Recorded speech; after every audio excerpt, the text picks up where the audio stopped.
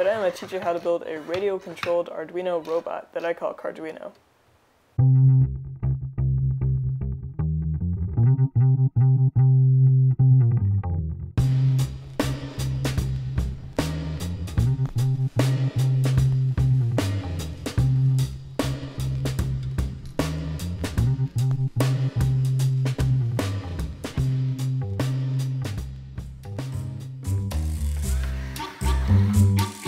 There are a few parts you're going to need to make this robot. First, you're going to need a transmitter and receiver. I got a Turnigy 9X transmitter and receiver combo. Then you'll want to get an Arduino Mega and an Adafruit motor controller version 1. These will be used to process the data from the transmitter and receiver and to control the motors. You should also get a 9 volt battery pack with 6 AA batteries and a DC power jack. You also want some male to female single ribbon jumper cables and male to female triple ribbon cables. And next you're going to want to get a chassis and motor kit. I got mine from Amazon. It's an Emgreat motor kit. Also just grab an extra caster like this. And also you'll want some Velcro and electrical tape to secure down different components. I'll include links where you can buy these components below.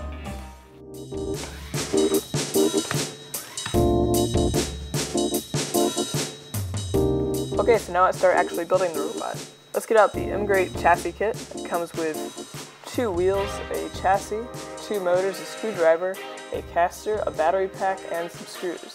So right out of the box, let's just go ahead and peel off the protective layer from the chassis, and let's get everything out of the bag. Okay, so first we're to attach the two yellow motors. Now go ahead and put the two long screws through the side of the motor, and then attach the rectangular piece on like that with the two holes facing upwards and screw that in. Okay, so now do the same thing to the other motor except leave the rectangular piece with the holes facing downwards. Now you can attach the motors to the chassis. Put some screws through the top of the chassis down through the two holes on top of the rectangular piece attached to the motor. So now secure down the caster with some nuts and bolts. Okay, now we can go ahead and put on the wheels. so They just slide onto the motors. And let's get an extra caster. This just helps stabilize the robot. Since this chassis is not designed for two casters, you may have to drill some holes like I did. Okay, so now that we've completed the chassis, let's go ahead and start attaching some components. Let's go ahead and grab some electrical tape, Velcro, a 9 volt battery pack like I have right there, the receiver, uh, Adafruit motor controller, and the Arduino Mega, and the chassis. Okay, for starters, let's get the battery pack and get ready to attach that. Uh, we'll use some Velcro. Uh, let's peel off the adhesive part. Put one on the bottom of the battery and one on the chassis, and then attach the battery pack. I also made a little casing out of the cover of a notebook just to protect the battery and the Arduino from short circuits or anything like that. Okay, so now we're to put some Velcro on the battery cover and the back of the Arduino and attach that, and then attach the Adafruit motor controller, and just Velcro the receiver down and maybe tape its little antenna, and we should be good.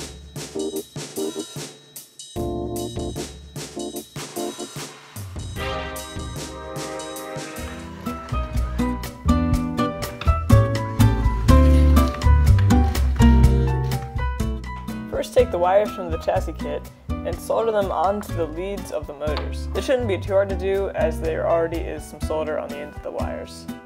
Just make sure that if the red one is on top on the left side motor, make sure that the black one's on top on the right side motor, or else your motors will be going opposite directions. Okay, now run these wires through some holes in the chassis, and just try to get them up on one side of the motor controller. So now on the M1 and M2 regions of the motor controller, you're going to want to unscrew all the screws except for the very center one, and plug the positive leads in on the very outside and the ground leads to the inside. Positive is red, ground is black. So now let's get some of those triple ribbon cables and plug them into two ports on the receiver. You'll want to plug them into the rudder and elevator ports. On the Turnigy 9X, these are ports 2 and 4. Okay, so now let's get some single ribbon cables and plug them into the triple ribbon cables. These two types of cables combined allow you to connect the receiver to ports on the Arduino. On triple ribbon cables, white is data, red is 5 volt, and black is ground. You're going to want to connect the 5 volts wires to the 5 volt on the Arduino Mega, and the ground to the ground ports, and the data to digital input pins. I used pins 22 and 30, but you can use whichever ones you want. You can use something like a Velcro tie to make sure that your wires are all bundled up and don't get caught in anything. Okay, and that about wraps up the wiring portion.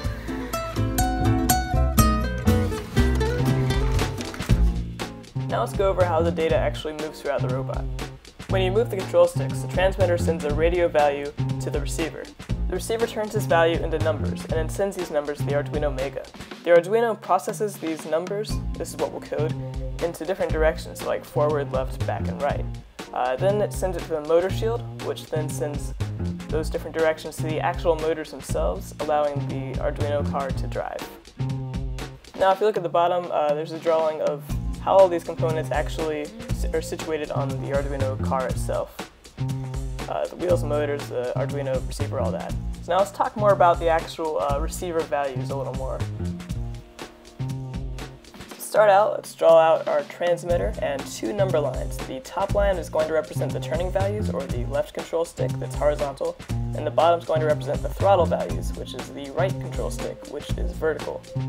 So if we push the throttle value above neutral, then the robot's going to move forward. And uh, the speed of moving forward is controlled by however far up the control stick is pushed. And it's the same backwards, just below neutral, the robot will move backwards at whatever speed the controller is at. And if it's right in the middle at neutral, the wheels are just going to stay still. And now if we want to turn to the left, we put the throttle upwards and the turning to the left, and we can see that the right wheel moves, basically pivoting the robot to the left. We can turn right by doing the same thing, just moving the turning value to the opposite direction. Turning backwards is pretty much the same idea, you just gotta make sure that the throttle value is down. So we know how these values will be interpreted by the robot, but we don't know what the specific values on our transmitter and receiver are. So we need to figure out on each stick what the neutral is, what the highest value is, and what the lowest value is. And this will let us know when the control stick is going forward, backwards, left, or right. Let's go ahead and do that now. Okay, so go ahead and plug in the DC power jack and plug in the USB cable to the Arduino and then plug the USB into your laptop.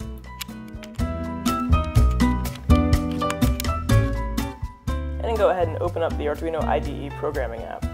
You'll want to download and open the remote test program that's in the description below. This program just reads the values from the digital pins hooked up to the receiver. I'll record this data to figure out what neutral, the highest value, and the lowest value are on the transmitter. So the pins that I used were digital pins 22 and 30. You just use any ones that are easily available to you. Uh, you can see them right there. We read this digital value with the pulse in command, which basically just finds the amount of time between each on and off value from the radio signal. So you can see we set the integer speed value to the pulse in of pin 1, which in my case is pin 22, connected to the receiver for the throttle stick, and we also have the integer direction value, which is the pulse in for pin 30 in my case, which is connected to the receiver port for the turning stick. So if you look below, you can see the command that says serial.println speed value. This basically just shows us the speed value, which is the uh, value for pin 1. And we have the direction value as well, but currently that's commented out since I only want to read the speed value at the moment. Okay, so let's go ahead and upload this to the Arduino. Now we're going to want to go to the serial monitor to read the values. So let's go ahead and push up on the throttle stick and check the screen and it says around 1,875. So let's write that down on a piece of paper and move on to the neutral, which is around 1,465, eh, maybe 60. Let's go all the way down about uh, 1050, maybe 1045. Now you can do the same thing for direction value, just uncomment direction value with two slashes and put two slashes in front of speed value. However, the values are likely going to be pretty much exactly the same, but you can still do this just in case.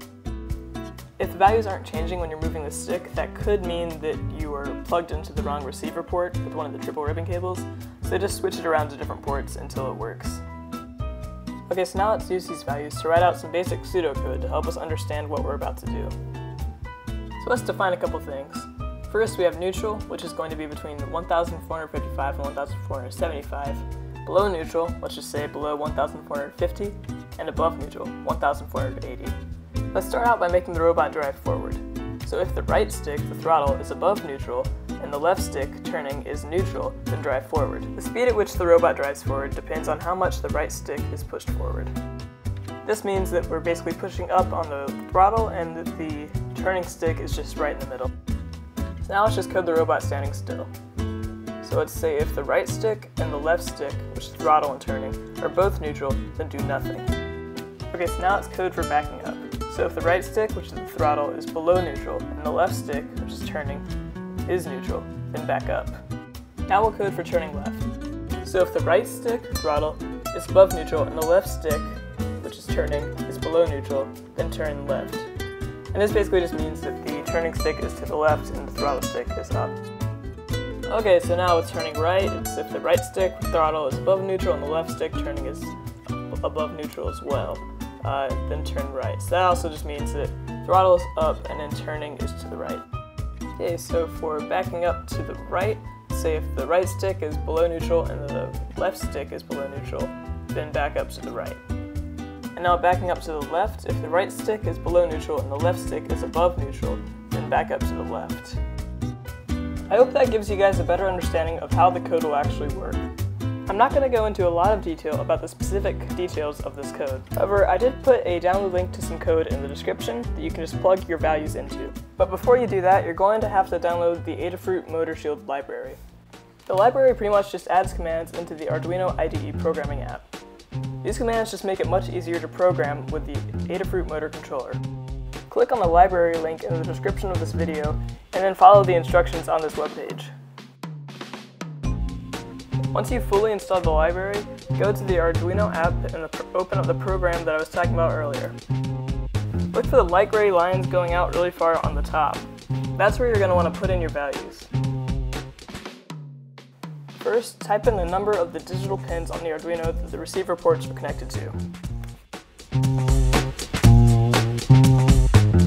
Now for this part, you're going to take the median value that you found earlier. First, add 40 to the median value.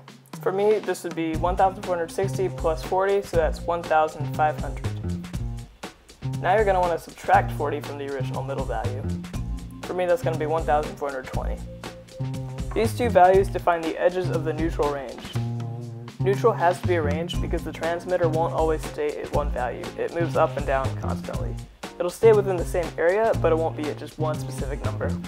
Next, type in the maximum value and the minimum value that you found earlier. Now you should be set to upload the code to your robot and drive it around. Make sure to always turn the transmitter on first before you turn the actual robot on, or else the robot might randomly spin around in circles. I hope you guys enjoyed that video. If you have any questions, just leave a comment below and I'll try to get back to you as fast as I possibly can. Also remember to check the description for a lot of helpful links. Thanks for watching guys.